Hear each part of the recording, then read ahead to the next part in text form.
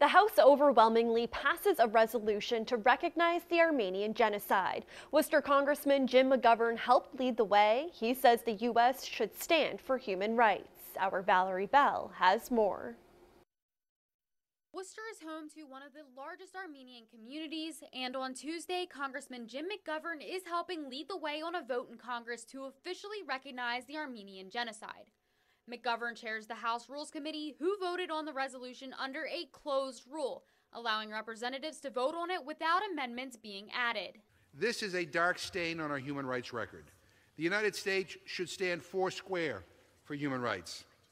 Anything short of that sends exactly the wrong message to abusers around the globe. More than 1.5 million Armenians died at the hands of Turkish nationalists during World War I. House Resolution 296 recognizes it as a genocide. What happened to Armenian was a genocide, and it is no, there is no doubt about it, even um, among American politicians, Republicans, uh, Democrats in Washington. They all know what happened in 1915. For decades, the U.S. has remained silent on officially recognizing the genocide, keeping its alliance with Turkey. The resolution comes amid strained relations between the two countries. This Congress must still be capable of speaking with one voice against genocide and crimes against humanity, no matter when they took place. Taner Akçam is a German Turkish historian. He says this is not a moral issue, but rather a political interest of the United States to recognize genocide in order to establish peace. If we really want peace and stability in the Middle East,